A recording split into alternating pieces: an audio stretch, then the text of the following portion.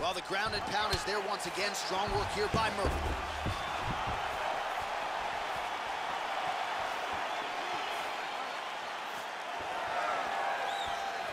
Timing his shots pretty well here early, DC. He's doing a great job of mixing things up, keeping busy, being very active.